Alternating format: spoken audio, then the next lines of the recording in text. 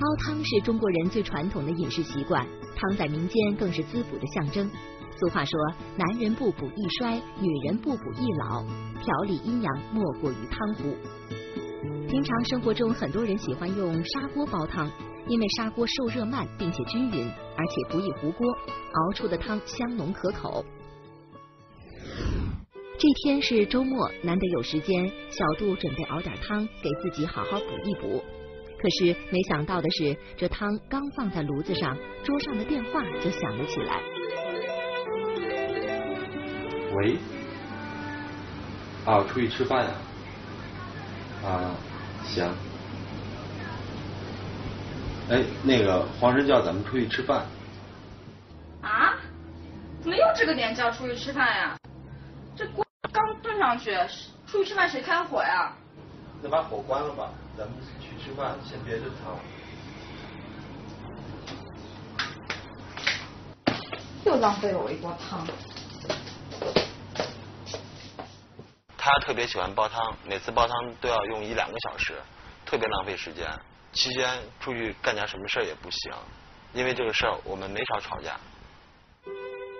用砂锅煲汤必须得耐得住性子，因为它讲究小火慢炖，整个过程起码需要花费两到三个小时。这对于忙碌的都市人而言，的确是一件非常难办的事情。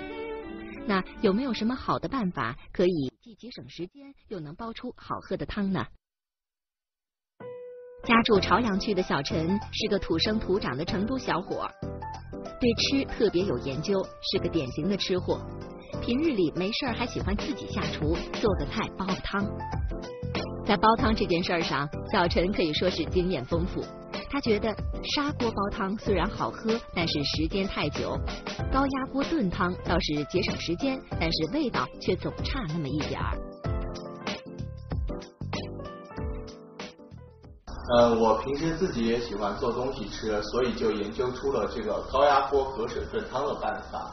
好，这个办法不仅比砂锅煲汤啊节省了一半的时间，而且在味道上出来的味道跟砂锅炖出来的汤是一样的。下面就让小陈来给我们展示一下这高压锅隔水炖汤的过程。首先我们在买食材的时候要挑选新鲜的蔬菜，这是做好汤的关键之一。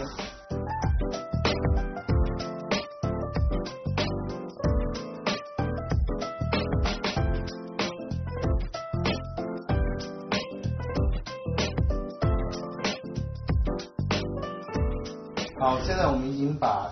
排骨和蔬菜洗干净了，然后我们现在将它们放进碗里。接下来我们要将碗中加入没过食材的冷水，然后这个水的比例大概是食材的一倍多一点，然后这个水也不能太少，不然就不能没过这些食材，然后也会影响汤的营养成分的浓度。这个水也不能太多，要不然就会稀释这个汤，然后煲出来的汤味道就会变得很淡。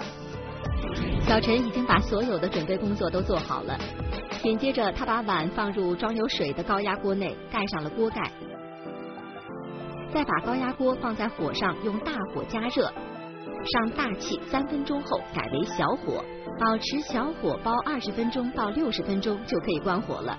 具体煲汤时间的长短取决于煲汤的原料和汤的多少。嗯，时间差不多了，我们再等一会儿就可以关火起锅了。如果觉得煲出来的汤太油腻了的话，然后我们可以先把菜放入锅上烤一下，然后再放入汤里边，然后这样会减少汤的一个油腻感。看看这个应该炖的差不多了。哇！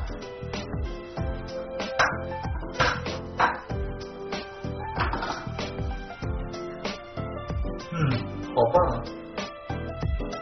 真没想到，用高压锅隔水煲出来的汤，才用了一个小时，味道竟然那么好，和砂锅简直不分上下。但是却比砂锅煲汤节省了近一半的时间。不管是炖什么汤，其实都是食物在加热的情况下，把食物中的一些蛋白质、脂肪，还有一些芳香类物质融入到汤汁里边去。黄伟，中国营养协会理事，国际公共营养技师。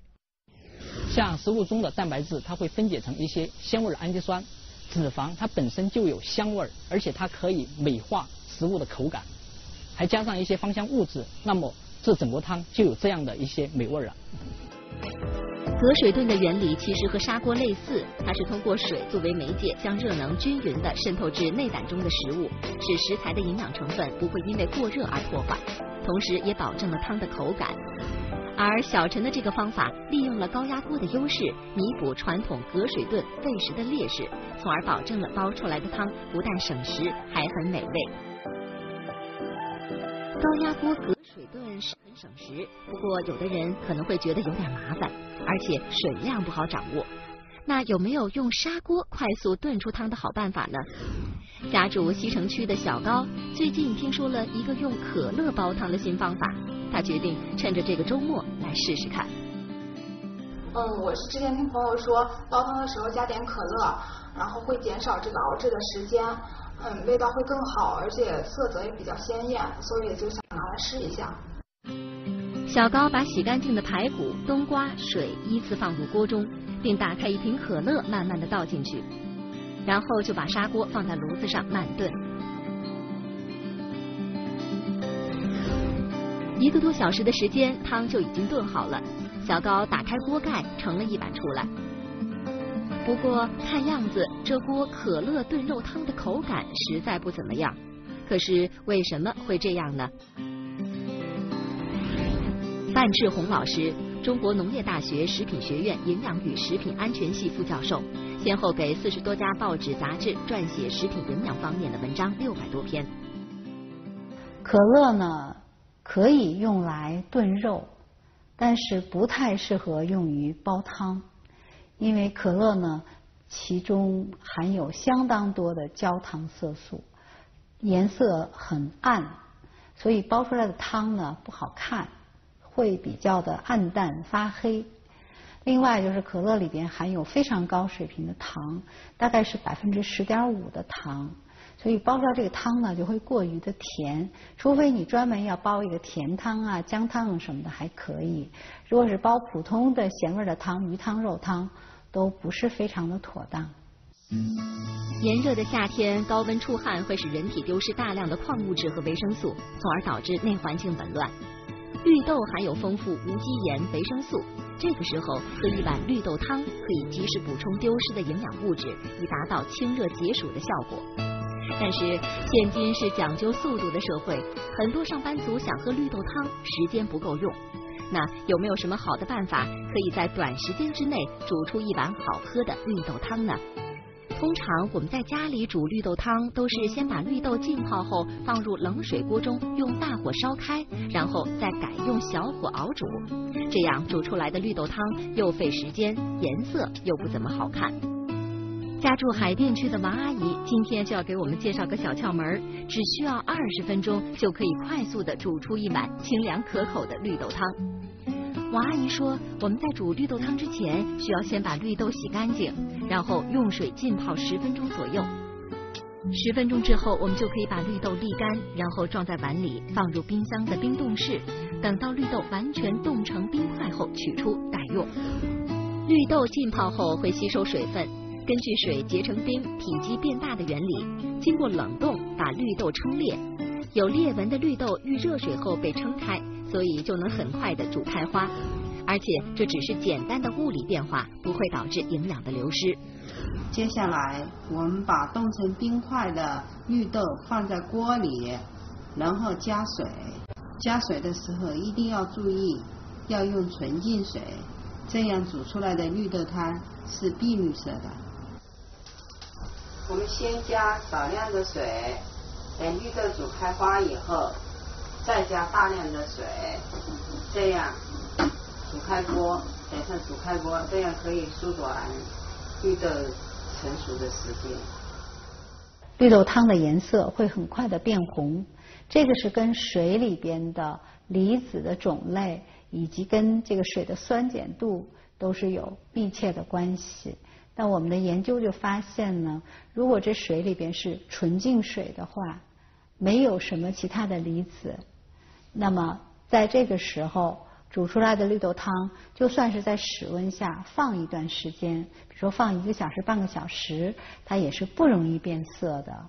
所以可见呢，假如你非要想要那种特别碧绿的汤，你是可以考虑用纯净水来煮的。